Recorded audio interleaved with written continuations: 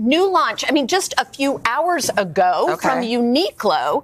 So Oh. this bag here, it's a faux leather uh, puffy bag.